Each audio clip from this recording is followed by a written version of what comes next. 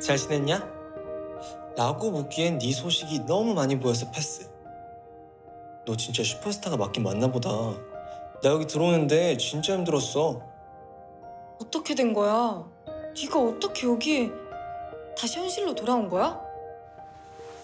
음, 아무래도 그런 거 같지? 졸업식 끝나고 눈을 떠보니까 여기더라고.